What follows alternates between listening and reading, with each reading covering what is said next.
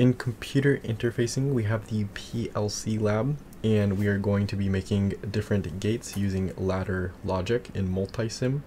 The background for this is that a programmable logic controller, which is a PLC, or programmable controller, is an industrial digital computer which has been ruggedized and adapted for the control of manufacturing process, such as assembly lines or robotic devices, or any activity that requires high reliability, which hence the ruggedness of the actual PLC, reliability control and ease of programming, and process fault diagnostics.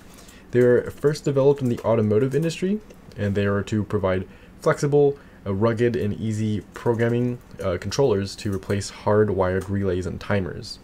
Since they have been widely adopted as high reliable automation controllers suitable for harsh environments, a PLC is an example of a hard, real-time system since output results must be produced in the system or in response to input conditions. So we have output results and they're produced in response to some kind of input that we give it within a limited time. Otherwise, an unintended operation will result. And these underlined parts are clickable and they can be found in the document, the Google Doc that's linked in the description. So now we're going to look at the procedure. So for this lab, we are going to use Multisim to simulate ladder logic. We are going to review the actual rubric for this. We are then going to complete sections 4.1 through 4.3. There's more sections, however, we're not going to be doing them here. And after this, we are going to, or while we do this, inside of these steps here, we are going to create the logic gates AND, OR, NAND, and NOR.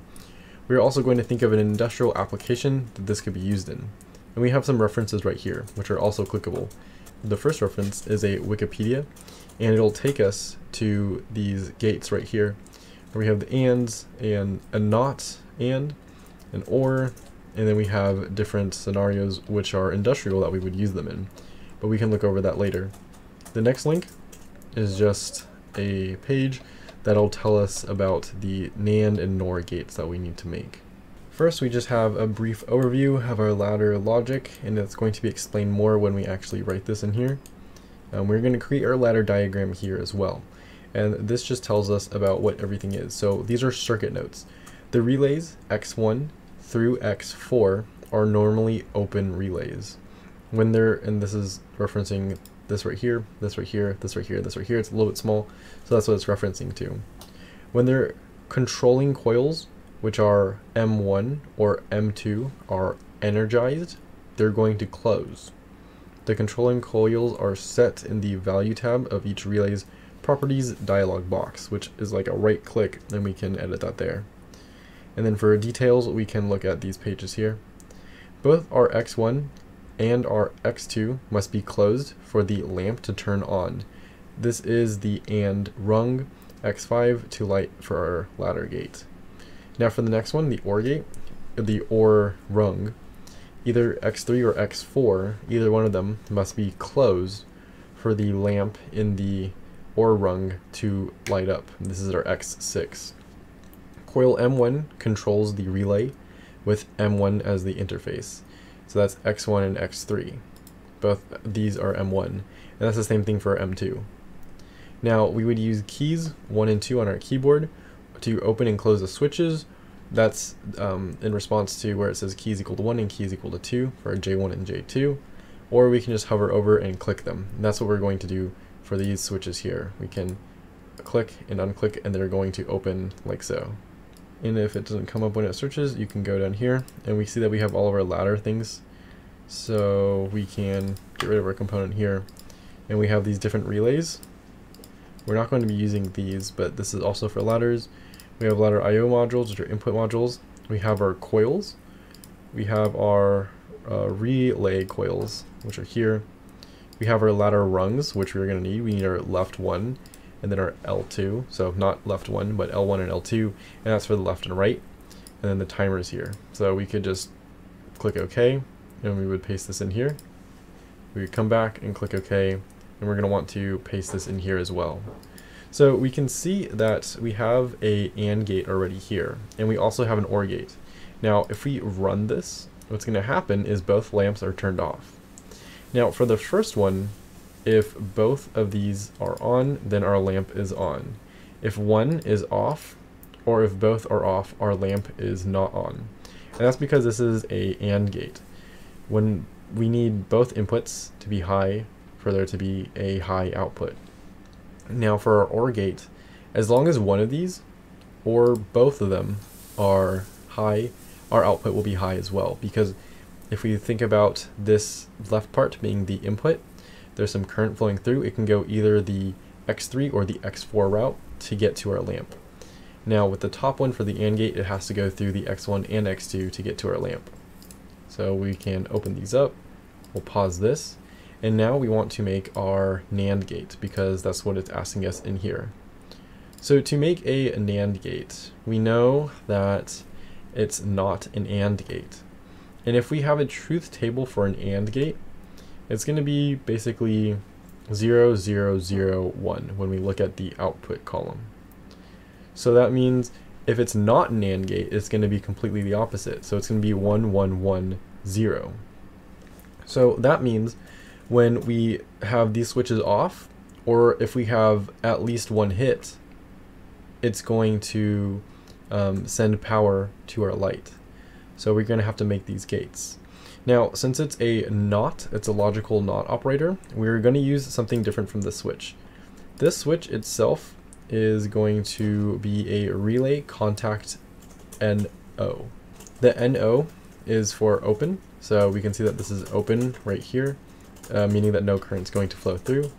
And if we want a different one, all we're going to do is look up a uh, NC one. And it's going to look something a little bit different from what we have here. But we can go to place, we're going to go to components, we go to ladder contacts, and then we want a relay contact, and it's going to be NC. And we can see that it's going to be slightly different for our um, description here. So ladder diagram, normally closed relay, whereas our NO is a normally open relay. So we're going to take this NC and we're going to place it right here. And then we can take this and place it right here, and then just close this. So again, this is an NO for normally open, and this is an NC for normally closed. If it's a closed circuit, the current's going to flow through. So when both of these are off, we're going to have some current go to the lamp. And we could search a lamp, or we could just copy and actually paste this. It'll be a little easier. And we can do Control Shift W to get a wire to go from here to here. Now, again, this is going to work when the outputs are both off, right? When these switches are open and when one of them is closed as well. And so that kind of is like an OR gate, but the opposite. So it's going to be in the same kind of placement as an OR gate, just using these NOT operators. So we can place this wire and we're going to test this afterwards as well. It's a little bit off center, but all we need to do is make sure they're connected for it to work. So we can place these here um, and we can make sure that they're connected actually right here because it's not connected. So once that's set, we can do the same thing but for our NOR gate because that's the next one that we have to do. So we can press escape. I'm just going to hover over and select all of these and copy and paste it below. Now we're going to have to change this up a little bit, so we'll delete this wire, and then we'll delete all of this right here. Now we want the NOR, and NOR is not an OR, and the output for an OR gate is 0, 1, 1, 1, and so it's going to be 1, 0, 0, 0. And so that means that this is only high, the output is only going to give us something when both of these switches are off. And so what we can do is say that looks kind of like an AND gate, but completely flipped. So using our normally closed, we are going to make what resembles an AND gate, like this. And then we can connect our wire through this right here. So we have a wire there, wire there, and a wire here. So if we run this, let's only look at these bottom ones, right? Let's look at the bottom one, at the top bottom one first. So we said it's a NAND gate, not an AND gate meaning that this light bulb should be on when both of these are open, when one of them is closed, and then, oh, and it looks like it copied over the M1. So we can't use the same M1. We can just easily change this to be M2. and then we can change this to be M2 as well. That way the switches are different. So we run it again. So they're both open, meaning that this light is going to get some light, and then we can close it, and we can see that it still has light. If we close both, there is no light here. Now if we open it, we can, or well, let's open both of them. For this bottom one, we can see that the light is on. If we close one, we can see that the light is going to go off because it's open. Um, same thing with this one here. If it goes off, or if it goes on, the light is off. And so that is going to be it for our AND, OR, NAND, and NOR gate. If we want, or ladder, ladder logics, not gates. If we wanted to make any other ladder logics, they'd be very simple and very similar. So if we want to make this in an industrial application, you can think of a safety switch which turns on the machine, where two people would have to press a power button, so it would look something like an AND gate, to have the machine actually turn on. So if we run this, we can see that both switches are off, right? If one person wants to turn the machine on, they'd press their button, and then the X2 is like a next person, they have to press their button for the machine to turn on. And that is it for the industrial application, and that is going to be it for this lab.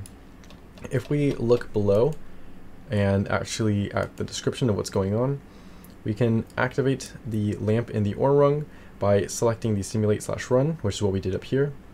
We can hover over and click them.